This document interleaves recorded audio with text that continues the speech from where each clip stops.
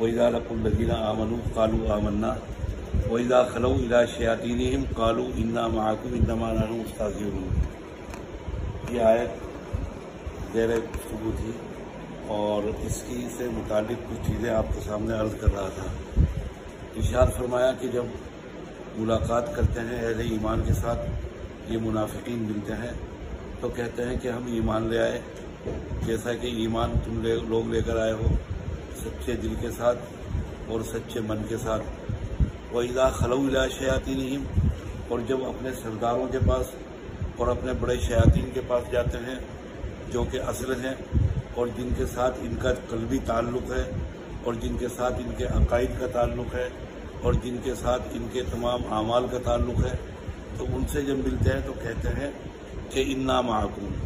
हम तो तुम्हारे साथ हैं। इन नमा नहन हम तो मुसलमानों का, अहल ईमान का, इन सादा दिल और बेवकूफ़ लोगों का, जो कि इनके नुक़ नज़र से थे, उनका मज़ाक उड़ाने वाले हैं, उनकी हँसी उड़ाने वाले हैं, ये कहा करते थे। एक हदीस में है कि सैदना जनाब नबी करीम वसल्लम ने इशार फरमाया कि अल्लाह, हम आपसे पनाह चाहते हैं, जिन्नात के शयातीन से भी और इंसानों के शयातीन से भी। तो अबू जर रज़ी अल्लाह तु ने दरियाफ्त किया कि या रसूल्ला क्या इंसानों के शैतान भी होते हैं? आपने फरमाया, जी हाँ इंसानों के शयातीन भी होते हैं। सरकश, नाफरमान, यहाँ तक के कुफ़ार भी, यहाँ तक के शरीर भी, हर तरीके पर। जिस तरीके पर मलाइकतुल्लाह, फरिश्ते अल्लाह ताला की नूरानी मखलूक हैं, नूर से तैयार करदा। ऐसे ही जिन्नात नारी मखलूक हैं। खुद एक मौके पर शैतान ने कुरान मजीद में कहा, जब अल्लाह ताला ने मुझसे दरियाफ्त किया कि मैंने तुझे सजदा करने का हुक्म दिया, आदम को सजदा करो, तमाम मलाइका को हुक्म दिया, सबने सजदा किया तो तूने सजदा क्यों नहीं किया? क्या वजह पेश आई कि तूने सजदा नहीं किया? तो कुरान मजीद ने उसका जवाब नकल किया है, हक ताला ने। फिर कहने लगा कि खलक तरीम इन नारी व खलक तहू इन तीन। आदम को आपने मट्टी से पैदा किया और मुझे आपने आग से पैदा किया और आग मिट्टी के मुकाबले में बुलंद है। आग की अजमत ज़्यादा है बमुकाबले मिट्टी के। मिट्टी ज़मीन का एक हिस्सा है, खाक कहलाती है और ज़मीन से लगी हुई है और आग बुलंदी की जानब जाती है, आसमान की जानब जाती है, ऊंचाई की तरफ़ बढ़ती है। लिहाजा आग में उर्व है, यानी आग के अंदर बुलंदी है। लिहाजा आदम को चाहिए वो मुझे सजदा करे, ना कि मैं आदम को सजदा करूँ। तो वहाँ पर कहा खलक तनीम इन नारी आपने मुझे पैदा किया। मैं कुछ और इनसे मुतालिक, जो हज़रत महक्कीन ने, हज़रत उलमा ने, जिन्नात से मुतालिक तफसीत लिखी, किसी मौके पर अनकरीब अर्ज़ करूँगा। बहरहाल, शयातीन जो थे, इनके सरदार, उनके पास जाते तो उनसे कहते, और असल इनका दिल उन्हीं से मिला हुआ था, इन मुनाफिकीन का, जिनका आपके सामने ज़िक्र चल रहा है कि हम मज़ाक करते हैं। मैंने अर्ज़ किया था कि मज़ाक इंतहा से ज़्यादा नापसंदीदा चीज़ है।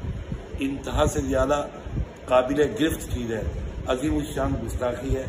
न सिर्फ़ ये कि दीन के बाब में, या ये कि आइन और शरीयत के बाब में, या खुदा ताला की तालीमत और हक ताला जल्ला मजदू के कुरान और कलाम के बाब में, या ईमान के सिलसिले में, या जनाब नबी करीम वसल्लम का मामला हो, या आपके सहाबा रिजवान मजमैन का मामला हो, आपका मामला तो इंतहा से ज़्यादा नाजुक है। जनाब नबी करीम वसल्लम का मामला बेपना नाजुक है।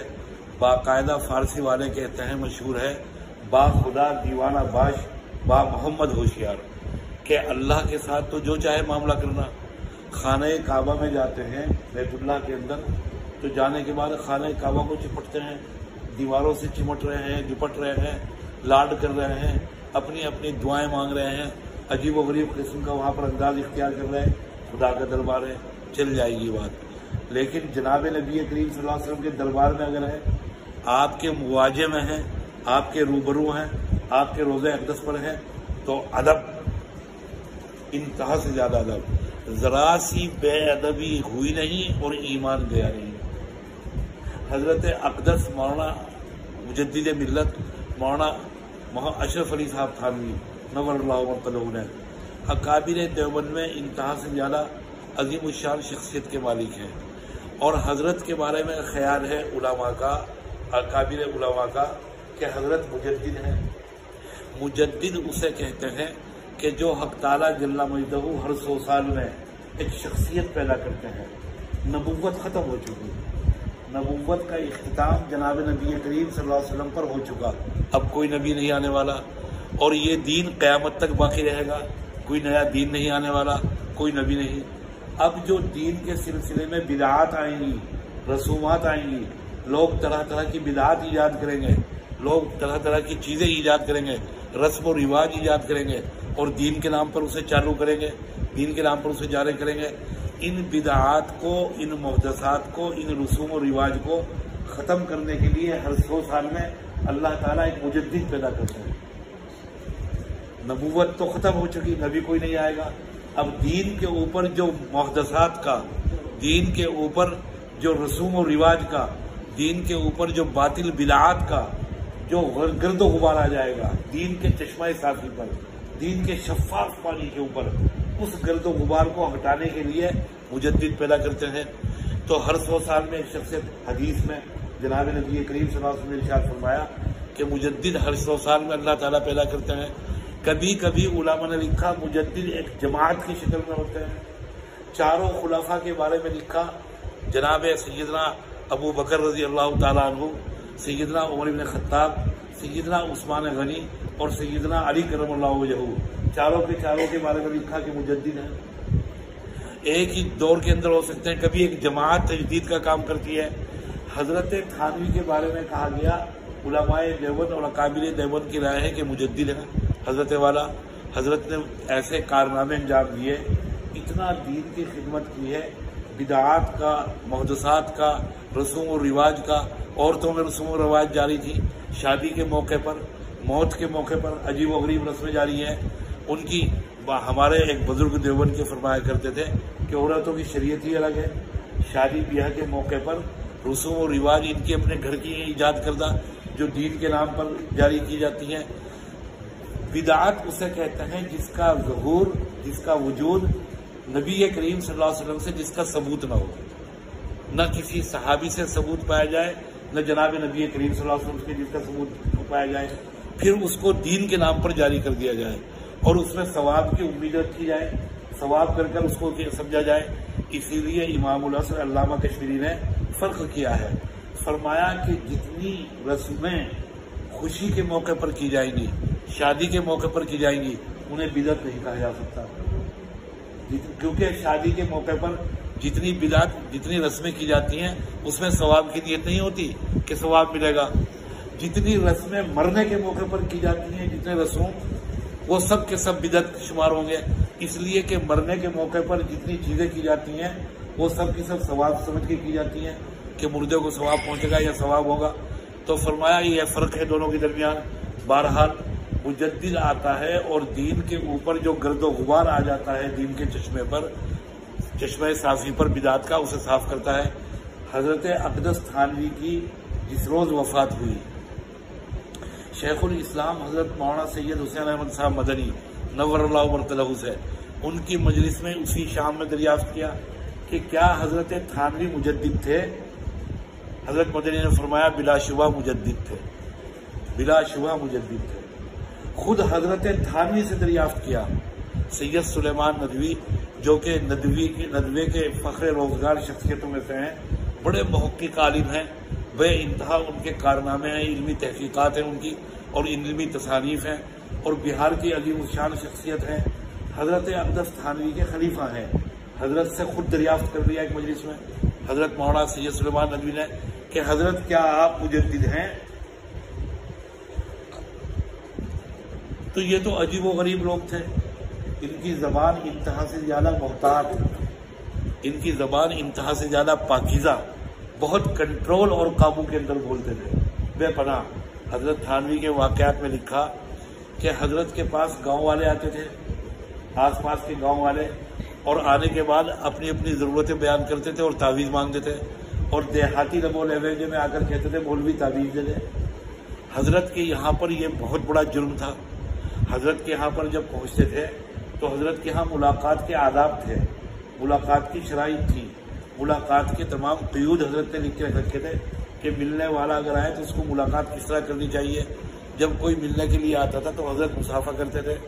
मुसाफा करने के बाद खैरियत दरियाफ्त करते और पूछते थे कि मुझसे कोई काम तो आने वाला कहता था कि हज़रत, नहीं, सिर्फ़ जियारत मकसद थी, मुलाकात। कहते थे, अच्छी बात है। जियारत भी हो गई, मुलाकात भी हो गई। अब आप अपने काम में लगिए हमें अपने काम में लगने दीजिए। अब जब ये फरमाते थे तो आने वाला कहता था हज़रत वो तावीज दे लो बस यहाँ से लड़ाई शुरू हो जाती थी कहते थे मौत आ रही थी। अभी दो मिनट पहले मैंने पूछा कोई काम है मेरे लायक कोई खिदमत? जब तो कहा कि जियारत के लिए आए मुलाकात के लिए अब कह रहे हैं कि तावीज दे दो। तुम्हारे अखलाक पर बात बहुत नाराज़ होते थे बहुत। अब गाँव वाले आकर कहते थे मौलवी तावीज दे दे। यानी मौलवी तावीज दे दे। हज़रत की यहाँ तो बड़ा जुर्म था कि तावीज मांग लेते थे और ये नहीं बताते थे किस मकसद के लिए, किस ज़रूरत के लिए तावीज दे हज़रत बहुत नाराज़ होते थे, कहते थे कि यहाँ तो आकर तुम्हारे बाबा के हम गुलाम बैठे तुम्हारे मुलाजिम बैठे हम, जो तुमसे हम ये भी पूछेंगे किस मकसद के लिए स्टेशन पे जाते हो। वहाँ जाकर विंडो पर और खिड़की पर टिकट मास्टर से जाकर ये कहते हो कि टिकट दे दो। और ये नहीं बताते कि मुजफ्फरनगर का दे दो या दिल्ली का दे दो, या सहारनपुर का। वहाँ तो बड़ी जबान चलती है कि मुजफ्फरनगर का दे दो। और यहाँ बताते रहे मौत आती है कि किस चीज़ का। ये समझते हैं कि मुल्ला बैठा है, खुद पूछेगा किस चीज़ का तावीज दे दो, लड़ाई शुरू हो जाती है। हज़रत ने मजलिस में फरमाया कि जब मैं इनसे सवालों जवाब करता हूँ, सख्ती करता हूँ, इनकी बद अखलाकी पर तवज्जो दिलाता हूँ तो ये मुझे कसाई कहते हैं, मेरी सख्ती की वजह से। और इनकी बेवकूफ़ी और हिमाकत की वजह से मैं इन्हें बैल कहता हूँ कि ये गाँव वाले बैलों की तरह है। तो हज़रत ने फरमाया कि एक इलाज समझ में आ गया। और इलाज ये है कि हदीस में जनाब नबी करीम वसल्लम ने बिस्मिल्लाह के बहुत से फ़जाइल बयान किए। बिस्मिल्लाह के बारे में हदीस में नबी करीम वसल्लम ने इशाद फरमाया कि जिस खाने पर बिस्मिल्लाह पढ़कर खाना शुरू किया जाए, उस खाने में शैतान को हाथ डालने की हिम्मत नहीं होती। हदीस में फरमाया नबी करीम वसल्लम ने, जिस खाने में कोई यतीम हाथ डाल देगा, यतीम खाना खा लेगा जिस खाने से, शैतान को उस खाने में हाथ डालने की हिम्मत नहीं होती। गोया के जो काम बिस्मिल्लाह कर रही है, जो ताकत बिस्मिल्लाह के अंदर है, वो शैतान, वो यतीम के हाथ में अल्लाह ताला ने रख दी, वो बरकत यतीम के हाथ में रख दी। तो बिस्मिल्लाह के बहुत से फजाइल बयान किए जनाब नबी करीम सल्लल्लाहु अलैहि वसल्लम ने, मैं कभी इस सिलसिले में आपके सामने अर्ज़ करूँगा और तफसील से इस पर गुफ्तु करूँगा इन तो फरमाया हज़रत ने कि बिस्मिल्लाह के मैंने नक्श बना के रख ली है। अब ये आकर गाँव वाले कहेंगे, मौलवी, तावीज़ दे दे। न मुझे ये पूछने की ज़रूरत किस मकसद के लिए दे दे? हर मकसद के लिए बिस्मिल्लाह का नक्श काफ़ी है। एक नक्श निकालूँगा और उसको मोड़कर और तावीज़ की शक्ल देकर इन्हें दे दूँगा। लड़ाई झगड़ा खत्म। तजवीज़ समझ में आ गई मेरे। तदबीर समझ में आ गई। हज़रत ने करना शुरू कर दिया। दो तीन दिन के बाद हज़रत मजलिस में फरमा रहे थे अपनी। कि अल्हम्दुलिल्लाह, तजवीज़ कामयाब हो गई। तदबीर कामयाब हो गई। अब ये आते हैं, तावीज़ मानते हैं न पूछने की ज़रूरत नहीं पेश आती, न कोई लड़ाई रहा, न कोई झगड़ा रहा। बिस्मिल्ला का नक्श निकाला, उसे मोड़ा और तावीज़ बनाकर दे दिया। तो हज़रत के जो वहाँ पर बैठे हुए थे खादिम उन्होंने अर्ज़ किया कि हज़रत मालूम भी है, अभी कुछ लोग आए थे, नौजवान और बूढ़े कुछ गाँव वाले, और आप इससे तावीज़ मांगा, और आपने तावीज़ दे दिया। इन्होंने बाहर निकलकर वो बूढ़े पता है क्या कह रहे थे नौजवानों से? हज़रत ने क्या कह रहे थे? कि ये कह रहे थे देखो कितना ठाड़ा आलिमुल गैब है। ठाड़ा हमारी जबान में देहाती जबान में ज़बरदस्त ताकतवर यानी देखो कितना ज़बरदस्त आलिमुल गैब है। इसको ये, ये भी पूछने की ज़रूरत पेश नहीं आई किस ज़रूरत के लिए तावीज दे दें ये बगैर हमारे बताए हुए समझ गया कि हमें किस ज़रूरत के लिए तावीज चाहिए। हज़रत ने फ़ौरन फरमाया मजलिस में कि ऐलान लगा दो आइंदा मकसद और ज़रूरत पूछ कर तावीज़ दिया जाएगा।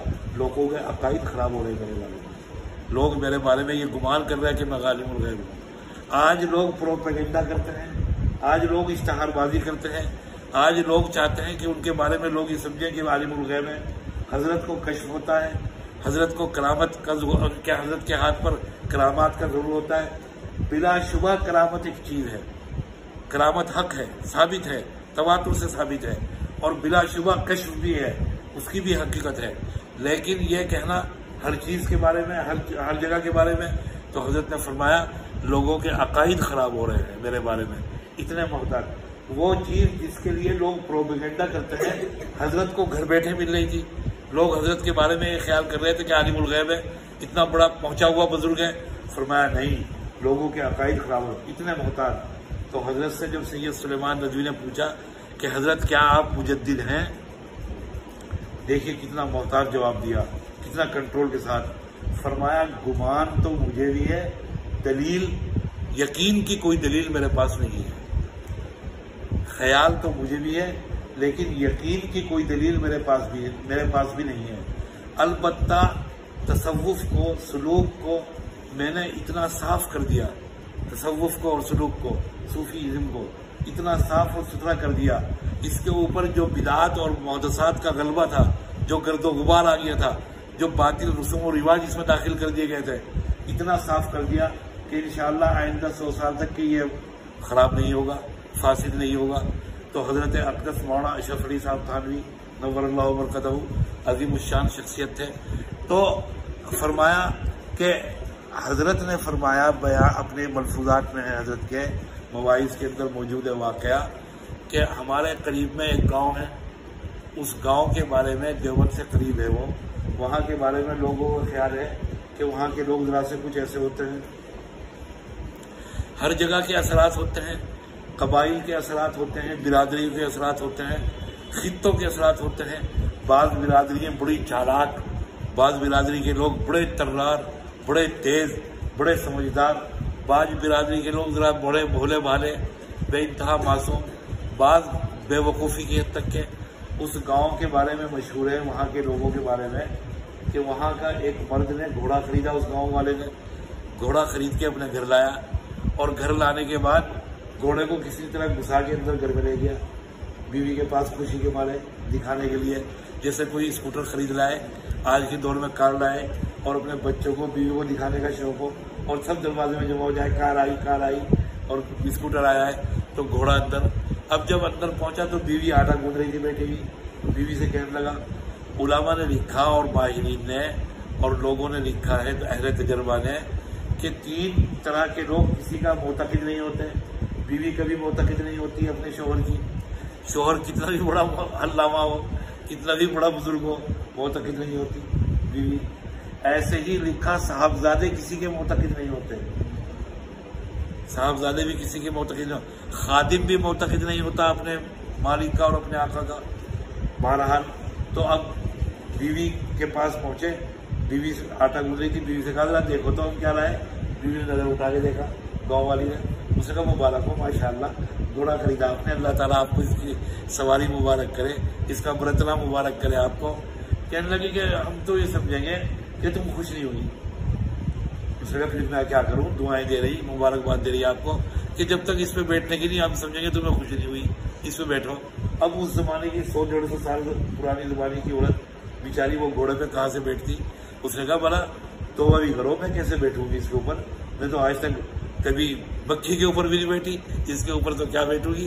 कि नहीं प्री तो इसका मतलब है तुम्हें खुशी नहीं हुई तुम जल नहीं हमारे घोड़े से, हमारी सवारी से तुम जल गई। अब उसे ज़बरदस्ती बिचारी को किसी न किसी तरह सवार कर दिया। जब वो सवार हो गई, उस पर बैठ गई, वो घोड़ा बाहर निकल गया। सड़क पर आ गया बाहर, बाज़ार में। अब आप आगे आगे भाग रहे हैं।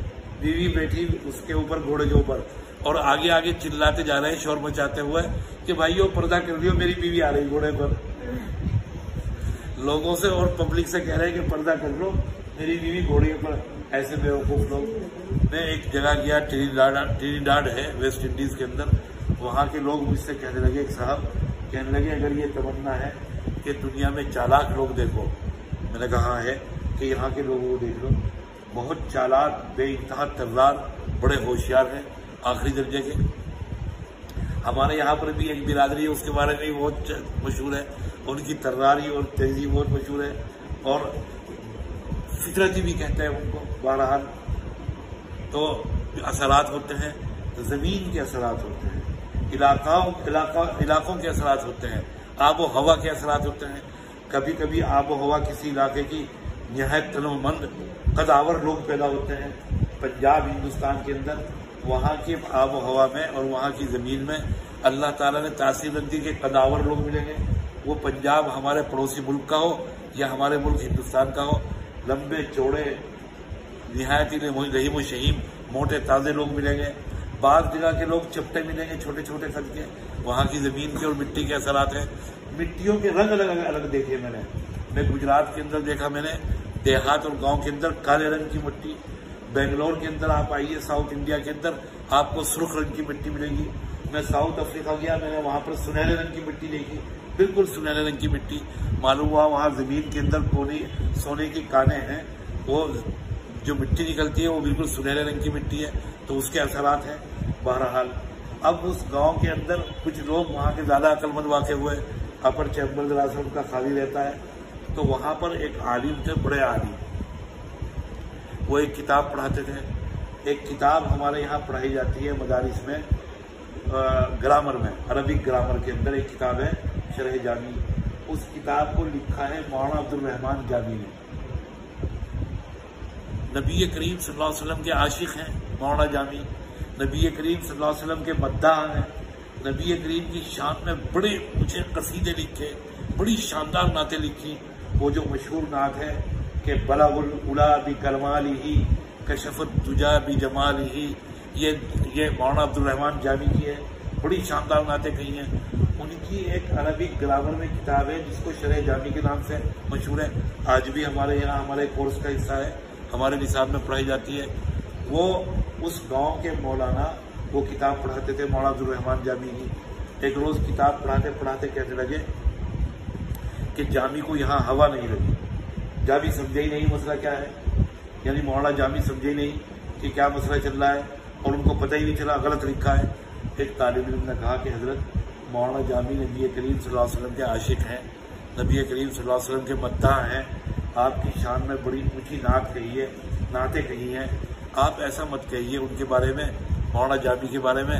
वो तो बहुत ऊँचे आदमी हैं, बड़े ऊँचे शान के बुज़ुर्ग हैं। तो वो मौलाना उस्ताद, उस तालीम के ऊपर चल गए। कि भाई तुम खामोश रहो। तुम जानते हो या हम जानते हैं? वो बेचारा खामोश हो गया। रात को ख्वाब शुरू हो गया। ख्वाब में देखा कि जनाब नबी करीम सल्लल्लाहु अलैहि वसल्लम तख्त पर रौनक अफरोज है, जलवा अफरोज है, तशरीफ़ फरमाए। और मौलाना जामी पैगंबर के पुष्ट पर खड़े हुए पंखा जल रहे हैं पैगंबर को। बड़े फोके फोके नर्म अंदाज में। सहाबा की मजलिस लगी हुई है। अचानक ये मौलाना मजलिस में दाखिल हुए। जामी ने झुककर पैगंबर के कान में कुछ कहा। सल्लल्लाहु अलैहि वसल्लम। जब ये मौलाना मजलिस में आ गए तो जामी ने बाबा से बुलंद कहा कि आसुल्ला तोहीन और तनकीद में क्या फ़र्क है? नबी करीम सलाह ने फरमाया कि जामी तनकीद की जा सकती है किसी के लिटरेचर पर, किसी की किताब पर, किसी की तहरीर पर, किसी की तकरीर पर, किसी के किसी कारनामे पर, सेहतमंद तनकीद। लेकिन किसी मोमिन की तोहन नहीं की जा सकती। किसी मुसलमान की तोहन की इजाज़त नहीं है। तो जामी ने कहा कि हज़रत, ये जो अभी आपकी मजलिस में आए हैं या रसोल्ला इन्होंने आज तलबा की मजलिस में मेरी तोहन की है। पैगंबर अलैहि वसल्लम ने मौलाना की तरफ़ मुतवजह हुआ है वो दरियाफ्त किया कि आप क्या कहते हैं? मौलाना ने पूरी तकरीर करी। क्या रसुल्ला उस मसले में मैं ये समझाऊँ? मेरी राय यह है, मैं ये समझता हूँ। नबी करीम सलाह ने उन मौलाना की पूरी बात सुनी। और उसके बाद जामी की तरफ़ मुतवजो हुए जामी तुमने क्या लिखा? जामी ने अपनी तकरीर की क्या रसुल्ला मैंने ये लिखा। आपने दोनों की बात सुनकर फरमाया कि जामी तुमने सही लिखा। फैसला कर दिया नबी करीम सलाह ख्वाब में ही वो मौलाना कहने लगे हाँ हाँ या सोच समझ के फैसला कीजिए। हज़रत थानवी नाकिल है इस वाक़े के। फरमाया कि आपने मुस्कुराते हुए फरमाया ख्वाबी के अंदर वो मौलाना से, कि दीवाने हो गए हो। अब मेरे फैसले पर भी एतमाद नहीं है। सुबह को जब उठे तो दीवाने हो चुके। हैं ये शान है जनाब नबी करीम और हज़रत थानवी ने लिखा कि ये तो खैर हो गई कि मुस्कुराकर फरमाया था पैगंबर ने। अगर आलम गजब में फरमा देते तो ईमान ही चला जाता। ईमानी रुखसत हो जाता। तो पैगंबर की अब कोई इस्तेदा करे, मज़ाक करे ठटम्बल करे, तमस्कुर का मामला करे अल अमान हफीज़ अल अमान हफीज़ बाकी आइंदा कल इन शाला वाखिर दावाना